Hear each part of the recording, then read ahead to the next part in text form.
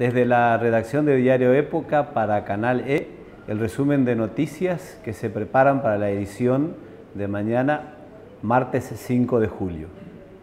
En política se destaca la asunción del nuevo secretario de Industria de la provincia, Alfredo Vara, quien debe encarar el desafío de profundizar las políticas de desarrollo que cumplan la promesa de dotar con valor agregado a la producción primaria correntina.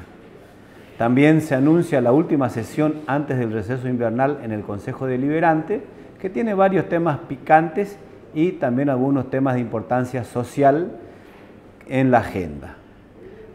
También llega el ministro de Cultura de la Nación, Hernán Lombardi, quien anunciará la forma en que la provincia de Corrientes se incorpora a la celebración por el Bicentenario de la Independencia que organiza el Gobierno Nacional en todo el país y que incluye además en Corrientes la visita mañana de una delegación de los granaderos a caballo que van a realizar distintas actividades. Hoy, en el barrio Doctor Montaña, dieron el puntapié inicial por estos festejos con un desfile cívico-militar organizado por escuelas de jardines de infantes. También desde mañana la municipalidad inicia en el Palacio de Gobierno la entrega de la tarjeta sube para quienes tengan DNI terminados en 0, 1 y 2. Esta entrega se terminará en los próximos días en un cronograma que se irá anunciando cotidianamente. También continúan los, operativos contra animales sueltos en espacios públicos y la vía pública y se confirmó que crece el número de ejemplares de caballos secuestrados por la denominada equinogrúa en distintos operativos. En el interior construían una peatonal y se hallaron con restos arqueológicos religiosos detrás de la parroquia de San Roque.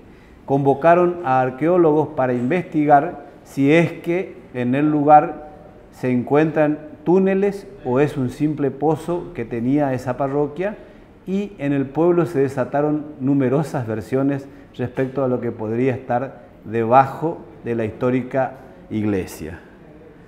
También desinfectan escuelas en paso de los libres como forma de prevenir la gripe A, ya que de esa zona provienen la mayor cantidad de casos febriles y algunos que terminaron con víctimas fatales.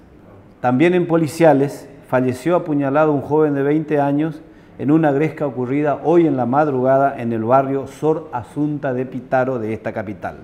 En materia de deportes, todo lo que tiene que ver con el anuncio de Sebastián Krismanich, quien eh, deja la práctica profesional de la disciplina que practica y espera conducir en un futuro inmediato el Centro Deportivo de Alto Rendimiento que proyecta la Municipalidad de Corrientes.